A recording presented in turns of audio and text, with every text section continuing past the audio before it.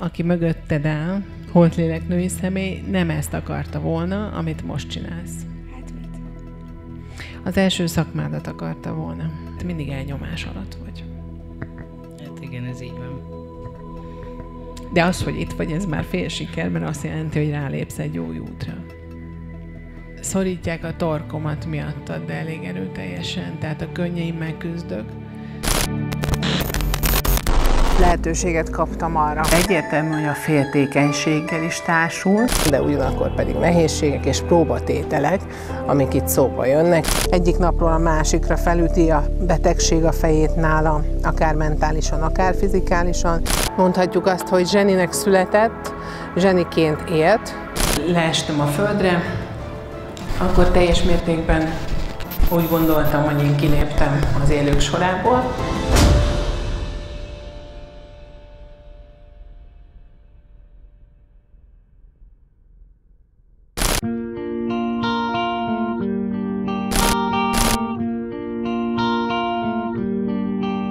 Köszöntjük Önöket Kiskató előadásán! Azért indítottuk el országos előadás sorozatunkat, hogy minél több léleknek tudjunk segítséget nyújtani. A következő kettő órában földön túli élményekben lehet részük. Legyen ez az alkalom egy felejthetetlen, maradandó élmény. Dőljenek hátra, és élvezzék az utazást a csodák világába. És most érkezzen Magyarország legnagyobb médiuma. Itt van velünk Kis Kató.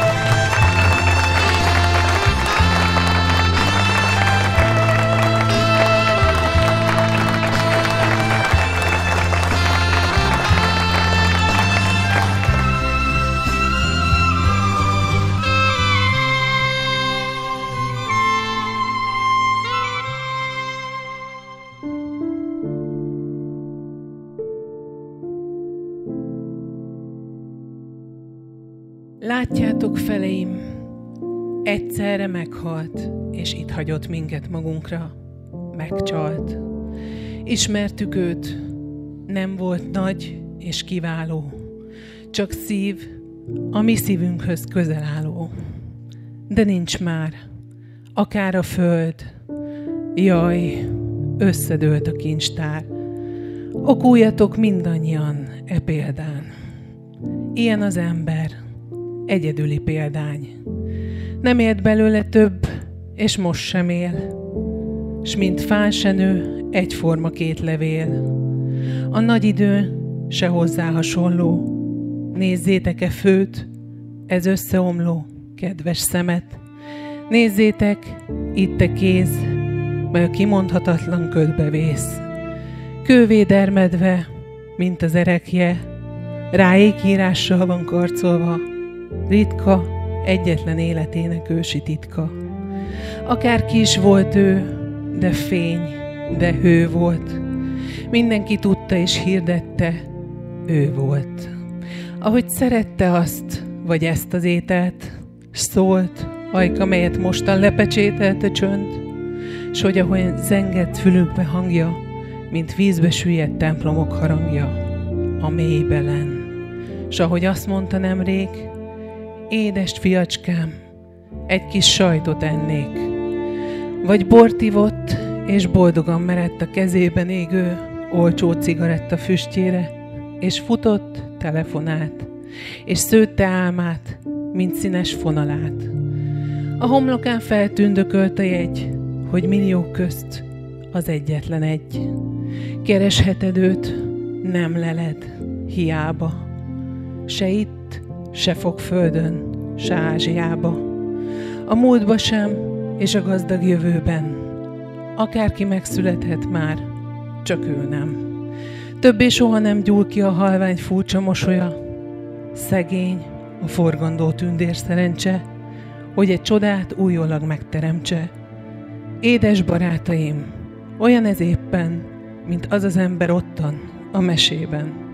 Az élet egyszer csak ő rája gondolt, mi megmesélni kezdtünk róla, hol volt. Majd rázuhant a mázsás mennybolt, és mi ezt meséljük róla sírva, már nem volt. Úgy fekszik ő, ki küzdve tört a jobbra, mint önmagának dermet néma szobra. Nem kelti föl se könyv, se szó, se vegyszer, hol volt, hol nem volt a világon egyszer.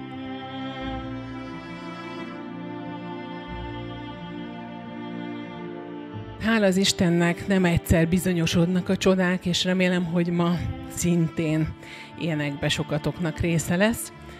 És mielőtt most kivételt teszek, mert borzasztóan kínzott egész nap engem valaki, egy holt lélek, és már mondtam a fiúknak, hogy ebéd közben, hogy valakinek most itt azt fogom mondani, hogy azt a dalt üzeni neki, a holt lélek szerette, hogy valahol búsdal szól, Zambó Jimmy-től, és megtaláltam, hogy kinek szól.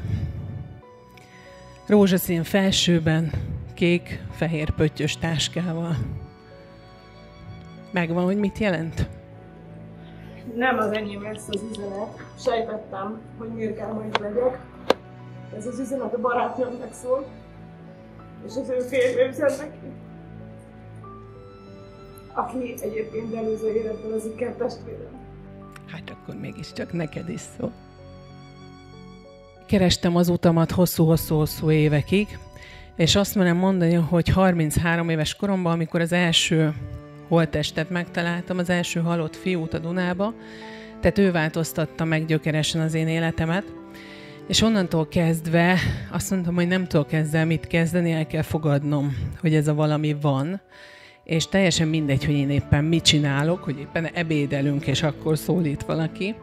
Én nem tagadom, hogy nagyon-nagyon sok pasi volt az életemben, mert mindig kerestem a királyfit, de hát valahol az óperenciás tengeren túlpatkolják a lovát, úgyhogy még nem ért ide. És én azt vallom, hogy el kellett fogadnom, hogy akik különleges képességgel bírnak, emberek, azoknak hát nem igazán jár az, hogy megtalálja a másik felét.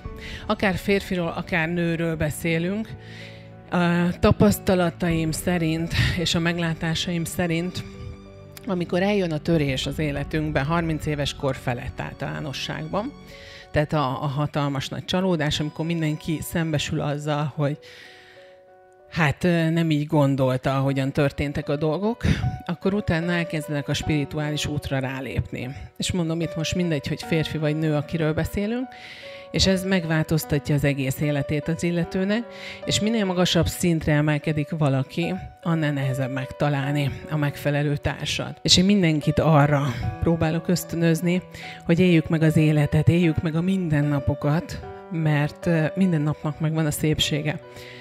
Én azt mondom, hogy nagyon nem létezik olyan ember, akinek ne lennének gondjai, mert én tudom, hogy mindenkinek vannak. De ezek kihívások, nem problémák. Ezek csak feladatok, amiket meg kell oldanunk. És én szentül hiszek abban, hogyha valamit akarunk, akkor azt el is érjük. Sokszor kérdezik a tetoválásaimat is, hogy ez, ez miért, mire jó és miért van ennyi.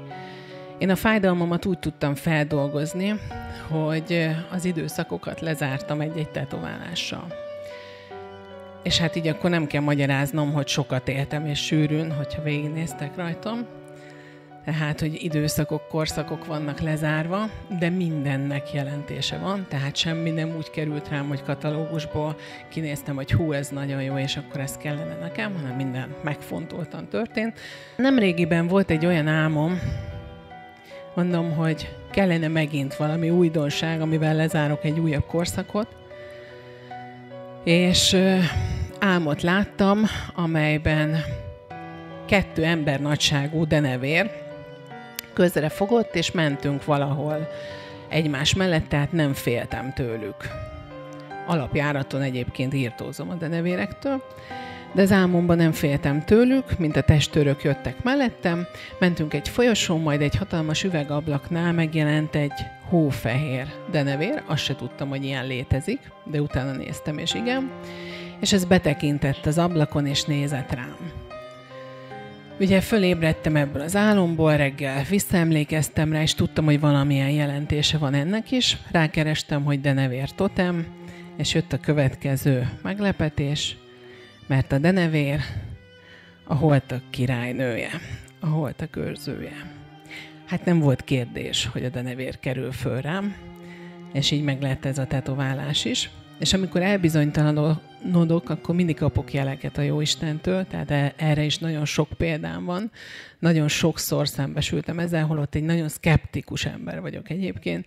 Tehát azt hiszem el, amit látok, hallok és tapasztalok, de hát úgy gondolom, hogy már rengeteg bizonyosságot kaptam, akár rajtatok keresztül, és amikor ugye olyanokat közvetítenek az elhunyt szerettek, amit tényleg csak ti és ő tudtok. És azt mondom, hogy akinek van egy kis affinitása, az nyugodtan, bátran vegyen kártyát, mert ha van vele dolga, akkor úgy is érteni fogja. A tanfolyamokról az a véleményem, hogy soha nem szabad azt sem szentírásnak venni, ahogy a kártyát sem. Tehát én mindig elmondom, hogy a kártyám sem szentírás. Ez egy iránytű, ami megmutatja, hogy ha erre megyünk, ez lesz, ha arra megyünk, az lesz, de mindenki a saját szabad akarata szerint dönti el az életét.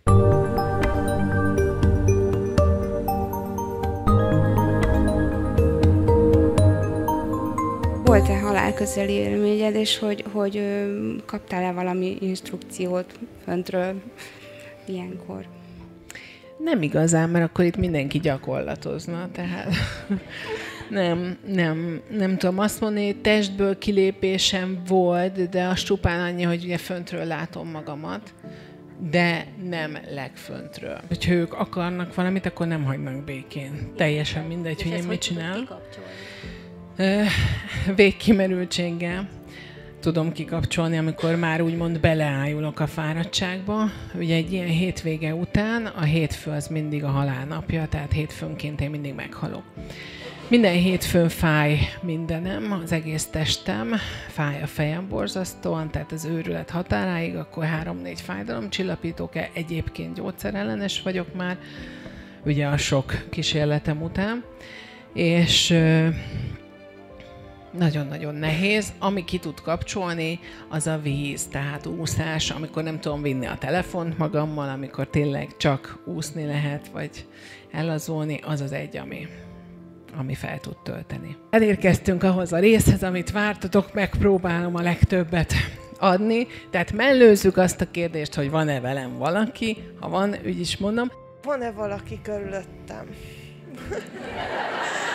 Mert azért kérdezem, mert én minden előadást megnéztem már, és hogy nekem rettenetesen fáj a derekam. Ez egy meg nem született gyermek, aki rád van tapadva. Volt egy pár, igen. És ezek úgymond teljesen roppantják szét a gerincedet, a derekadat, Igen. ezek az energiák, ezt le kell szedni. Amint le van szedve, el tud múlni az egész. Négy éve van egy nagy változás az életedben egyébként, onnantól van egy felvilágosulásod, és egyébként ezt derékfájdalmat leszámítva egyébként jó úton vagy. Nagyon sok terhet cipelsz, 22 év terhe van rajtad. Ez a feladatod nem fogsz tudni kibújni alól. És annyi a kérésem, hogy tudod... Hiányolja a főbevalót. Igen, tudom. Köszönöm. És még velünk tehát ő tud segíteni. Tehát abban, hogyha nekem dolgom van azzal, amit ő szeretett volna, ő segít nekem. Átadja ebben. az energiát, igen. Ah, köszönöm. Köszönöm szépen. Úgy gondolom, hogy mindenki képességekkel születik, csak a szüleink ugye sokszor kinevelték belőlünk, de ez, mint mondtam, előjön a későbbiek folyamán. Ez végigkísérte a te életedet. És hát érzelmi területedben ott igen, csak gubancos a történet, és nem csak most, hanem régi időkre visszanyúlva, és nagyon-nagyon-nagyon nagy sérülések vannak a lelkedbe. Visszatérve a lángoló keresztre, az megkísértés volt, és pont azért, mivel te is különleges vagy, és hasonló dolgokkal kellene foglalkoznod. És egyre több csodát fogsz látni, és egyre több természet fölötti dologgal fogsz szembesülni. Igen, meg hála Isten a szüleid jól nevelnek, idézőjel jól nevelnek, Igen. tehát hogy támogatják ezeket a dolgokat, és nem azt mondják, hogy bolond vagy. Tehát megvan a támogatás hátulról, és ez így nagyon jól tud hasznosulni iszonyatos módon elkezdett a tarkóm, illetve a kisagyam tájékán a fájdalom jelentkezni most egy pár perce. A jelenlegi fájdalmat de nem függ össze. A mostani átélt fájdalom az valószínű, hogy sokatoknál megjelenik, tehát kisagynál, gyomornál, fájdalmat érzékelhettek, illetve szédülést, hányinget. Ez a egyre tóduló energiák miatt van, tehát hogy a holt lelkek egyre intenzívebbek, és ugye érzékelitek ezt ti magatok is, tehát amit most a teremben érzékeltek, az valószínű attól van, amikor vége az egésznek, az el fog múlni. Én nem emlékszem a gyermekkoromra az eseményekre, és hogy ezt vissza lehet-e hozni valahogy regressziós terápiával vissza lehetne hozni, de itt nálad egyértelműen az jön le információból, hogy ne akart.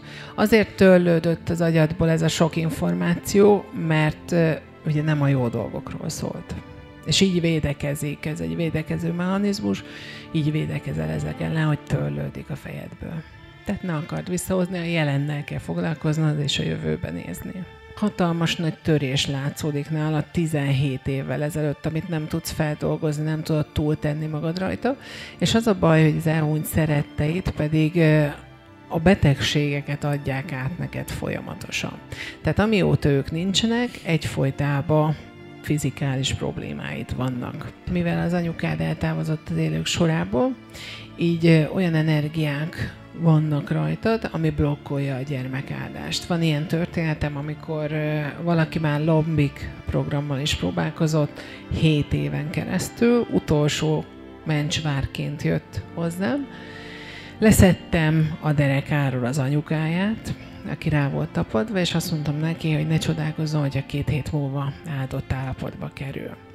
Ez a baba most már négy éves teljesen biztos, hogy valós, amit ő lát, tehát ilyenkor érdemes őt kérdezgetni, hogy ki az, mi az, mit csinál, mit mond, mit akar, játszik-e veled, vagy éppen megrémül Ezzel, tőle. Elzárkózik ilyenkor, tehát én szoktam kérdezni, mert engem érdekel. Akkor rajzoltassad. Hogy rajzoljuk le, hogy kit látsz. Én is lerajzolom, hogy kit látok, te is rajzol le, és megvárod, ameddig ő rajzolni kezd. És ugye attól is függ, hogy milyen színben fogja lerajzolni. Ugye, hogyha fekete színeket használja, akkor az egyértelműen negatív, ha színeseket vagy a fehéret, akkor egyértelmű pozitív.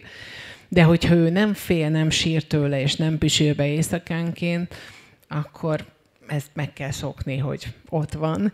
Lehet tértisztítást csinálni, erre nagyon jó a Palló Santo, a Szentfa, amivel ugye körbejárjátok a házat, kifüstölitek az egészet, vagy a fehér zsája, illetve ott is a, a mécses babéllevelek, szentelt víz, és minden küszöböt felsózni, tehát minden egyes küszöböt fel kell szórni sóval, az átjárókat, tehát ahol átmész egyik helyiségből a másikba, azt egy éjszakára úthagyod, illetve a gyermek arcát megmosott szentelt vízzel, és akkor ezek szoktak segíteni. Két évvel ezelőtt van a mély repülés, a mélypont.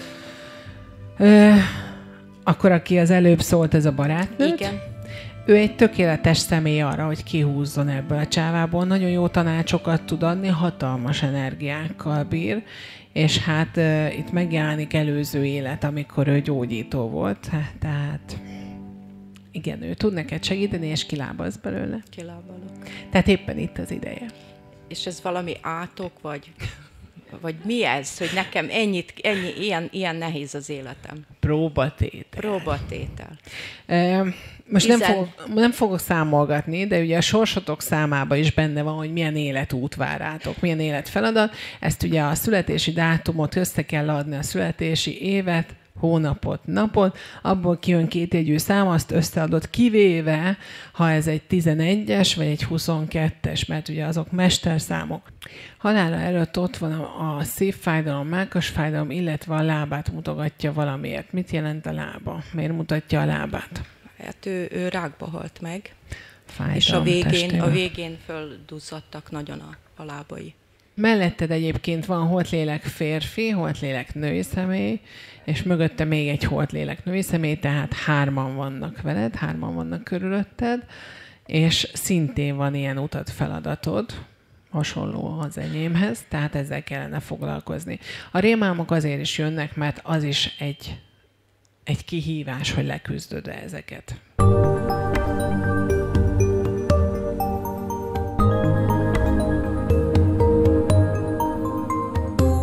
Idősebb férfi jelenik meg előttem, és csoszogás, ami mutatkozik, amit még mondjuk hallhattok is, tehát ad ilyen megnyilvánulásokat, ilyen jeleket, mm, és ragaszkodik a házhoz valamiért. Ö, Valamit átépítettetek? igen, átalakítottuk. Az nem tetszik neki. El, le lehet küldeni őt? Na. Kiengesztelheted őt. Jó. A vicces. Tehát kiengesztelheted őt, hogyha te magad iszol szilva pálinkát, amire azt mondod, hogy nem, de ő ezt akarja. Oké, okay, oké. Okay. És ugyanígy csináld meg a tisztítást, és utána ez Jó. sikerülni fog, és szép szóval kell megkérni. Tehát meg kell kérni, hogy találja meg a fénybe vezető utat, tehát ez már nem az övé, ez már nem hozzá tartozik, és hagyjon titeket békén. Aki mögötted áll, holtlélek női személy, nem ezt akarta volna, amit most csinálsz. Hát mit? Az első szakmádat akarta volna. Jobb lába fájt neki halála előtt. Meg a derekát fájlalta állandóan. A nagyanyám. Igen, lehet, igen. És Na, keres egy kis kékköves főbevalót. Az megvan. Csak nem Na, hordom. hát csak beazonosítjuk. Csak nem hordom. A mama azt kéri, hogy ha nem kötsz és hímzel, akkor legalább csináljál lekváros buktát. Pont ma csináltam. Jó, jó. Megvan. Na most már elhiszed, hogy itt van? El. Na.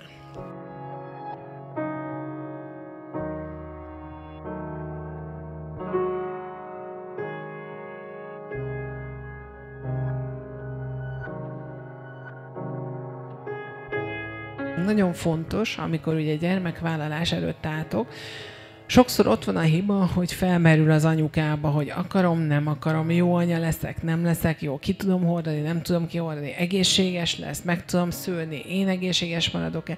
Tehát ezektől a dilemmáktól is el kell köszönni, mert nagyon sokszor ez is visszaveti az egésznek a beindulását. Holt lélek férfi személy és köhög.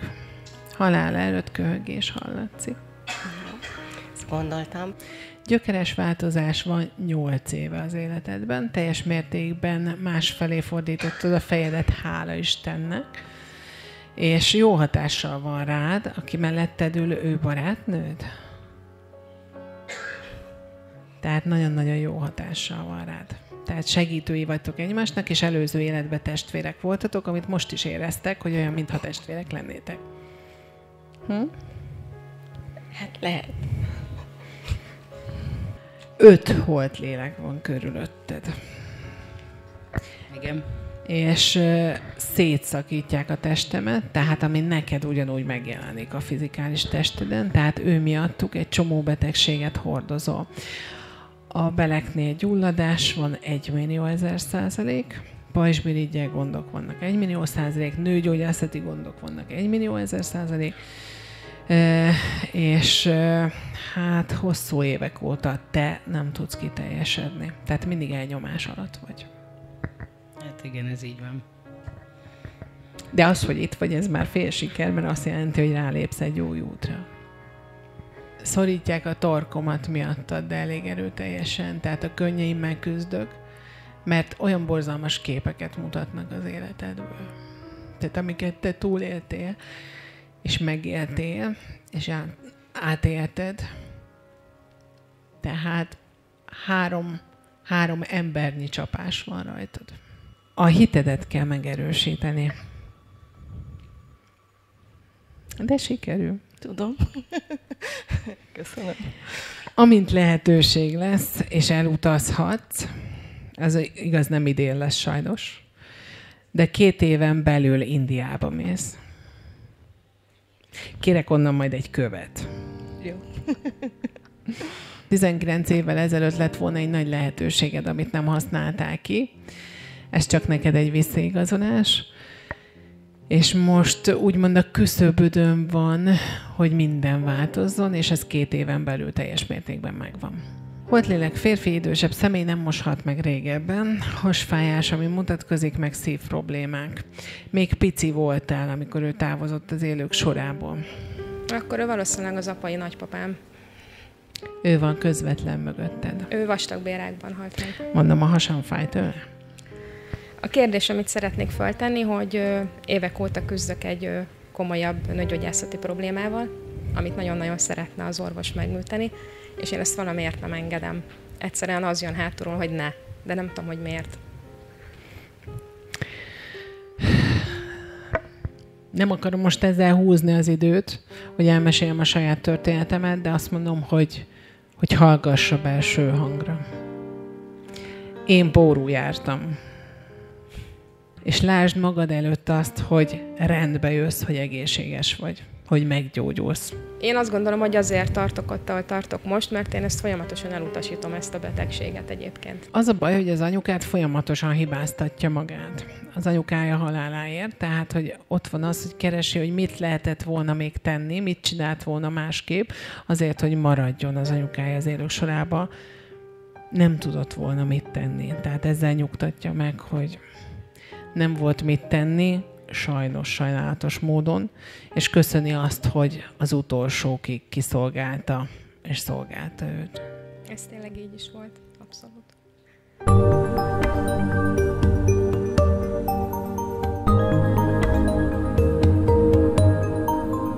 Autókat kéne szerelned.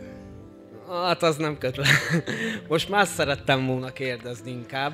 A holtlélek férfi, aki mögötted van, idősebb férfi személy, és sapkát hordott, tehát sapka volt a fején, és azt akarta, hogy autókat szerelje. Akkor anya elintéztem, mert nem az lettem. De azt szerintem a nagyapám. Hordott sapkát? Igen, mindig, igen. Hát én nem tudom, én csak most Igen, mondom, igen, amit igen, látok. hordott, igen. Akarta volna, hogy autókat szereljé? A papa? Hát a, inkább a vezetést. Inkább a vezetést szerette volna, igen. Borzasztóan fáj tőle a bal lábam, tehát halála előtt ez fájt neki erőteljesen.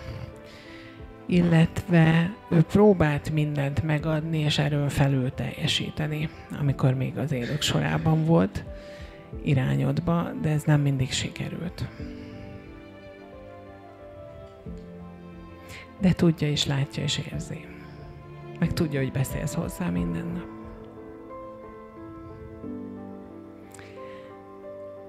Azt kéri, hogy ha már beszélsz hozzá minden nap, akkor minden nap az ő üdvéért mondd el a mi agyánkot. Megvan, hogy miért mondja. Nem csak a fiatal kora miatt nem volt még itt az idő, hanem még nem volt meg a harmadik kilépési pontja. Nem tudom, hogy mit akar a cseresznyével, hogy mit jelent a cseresznye. Hát van egy szőlőnk, és ott volt cseresznyefal. Ott volt ő a legboldogabb. Igen, szeretnénk eladni, de ő mindig azt mondta, hogy ne, te Meg is kaptad el. a választ, nem adhatod el. Tehát a cseresznyével rávezet az útra, hogy nem adhatod el, mert az az ő emléke. És a testvérét hiányolja. Azt kéri a testvérétől, hogy, sőt, tőled is, na ilyen elég ritkán van, hogy eh, csináltassatok az ő emlékére egy tetoválást. Mind a ketten. És hogy nem kell ennyi virág neki, azt mondta. Hogy túl sok virágot visztek, nem kell. Igen. Ez igaz. Köszönöm szépen, hogy ilyen sokan eljöttetek és megtiszteltetek a figyelmetekkel, a szeretetetekkel, és hát ne felejtsétek a, a kedvenc, egyik kedvenc mottómat, és legyen ez így útra való a számotokra, és visszatérve a boncmesterséghez, hogy miután teljesen mindegy, hogy szegény vagy, gazdag vagy, szép vagy, csúnya vagy, jó vagy, rossz vagy, a végén ügyis mindenki megbüdösödik. Tehát ezen nem változtat semmi, és hát ez egy szomorú tény, ahogy mesztelen jövünk, mesztelen megyünk. Tehát az emlékeket, a tudást és a szeretetet visszük magunkkal, úgyhogy újfent erre ösztönöznélek titeket, hogy éljétek meg a napnak minden pillanatát, szépségét, és aki megtanul hálás lenni, tehát hálásan gondolni dolgokra, annak egyre jobbá válik az élete.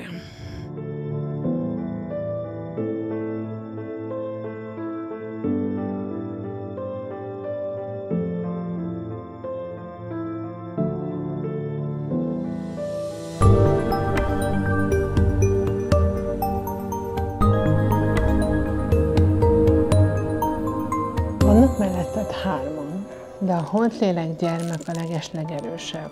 Amióta ő eltávozott, folyamatos betegségek terítik a szervezetet. Igen, ez így van. Műtétek sora, orvosi beavatkozás. Igen, igen. Most is. Semmit nem bántásból, sértésből mondok, csupán a tükröt mutatom azért, hogy helyre tudjál jönni. Ugye itt ami látszódik, hogy nagyon-nagyon sok a betegség. Tehát többféle, többfajta betegség, és kínoz napi szinten. Miért mutogatja egy folytában a karkötődet? Mert az övé. Az övé volt. Imádja rajtad a kék szint, mert az ő szemét tükrözi. Nagyon-nagyon régóta nem tudsz boldog lenni. Hát már a múlt az elég kemény volt. Már születésem óta. A nyomosod is eltávozott. Igen. Itt van. Ő Volt csinálja nekem. Személy. Így van. Na, őt viszont el kell küldeni, azt majd mindjárt Ú, megoldom. kirázott a hideg. Gerincet fáj tőle, Igen. napockál, a csukjás izom, nem alszol semmit, tehát tök mindegy, mennyit alszol, nem alszod ki magad. És fáradt vagyok egyfolytában. Magadat hibáztatod egyfolytában. Egyértelmű. Nagyon sokat szenvedett. Hat éves volt. Egész életében szenvedett. És mi köztünk aludt el, és nem vettem észre. Soha semmi és senki nem felelt meg neki, meg kritizálta a te főztődet, sőt, nem is ette meg a főztődet. Ja, csak amikor nem láttam, akkor. Jó Istenem, ez annyira jellemző rá. Hát én nem ez tudom, ő, csak mondom, ez amit ő, mond. így, ahogy van. Én szeretném nagyon megoldani. Úgy nem fog sikerülni, hogy visszatekintesz a módba. Azt kell magad előtt látni, hogy hálás Isten, hogy túlélted. Van egy olyan nő melletted, aki szeret téged, és fogja a kezedet.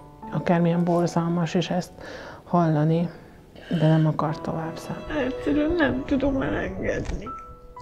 Tehát már úgy mész ki, hogy ezt fogod érezni, mint hogyha egy nagy kül esne a szívedben, ez a Nézd, és mondod is ki. fellélegzés. Igen. Ez valami. Hú, de örülök neki, hogy ezeket elmondtad.